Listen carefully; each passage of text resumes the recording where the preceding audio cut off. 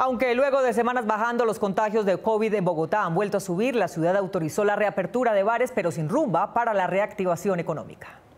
Las cifras de casos positivos en el país empezaron nuevamente a subir, y así lo han mostrado los reportes de esta semana. En medio de este aumento y en la búsqueda de recuperar periódicamente la economía, Bogotá expidió dos nuevos decretos, entre estos el plan piloto para el funcionamiento de bares en la ciudad.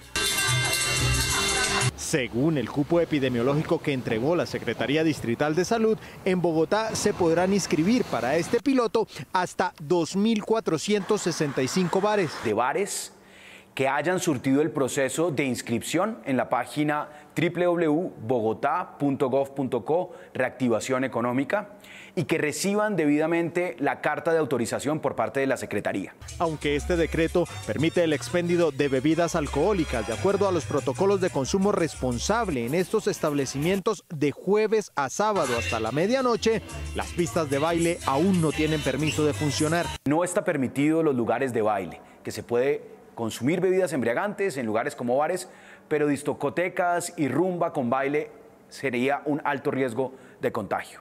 Sigamos cuidándonos. El segundo decreto tiene que ver con fortalecer la seguridad para el sistema de entrega de domicilios en Bogotá tras los hechos violentos registrados en la ciudad la semana pasada y que inicia a regir desde hoy.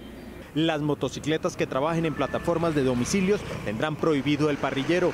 Las empresas necesitan un registro completo del empleado y adelantar una verificación de la situación judicial de los domiciliarios, además del uso de indumentaria y que el registro o placa de la moto o bicicleta sea visible. En un plazo de tres meses, estos trabajadores de la mensajería deberán tener sitios autorizados donde puedan parquear y baños que puedan usar.